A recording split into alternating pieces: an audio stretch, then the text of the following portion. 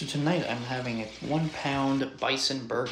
You got three slices of American cheese, and I put some avocado oil, some grass-fed butter, salt, and this burger came out amazing.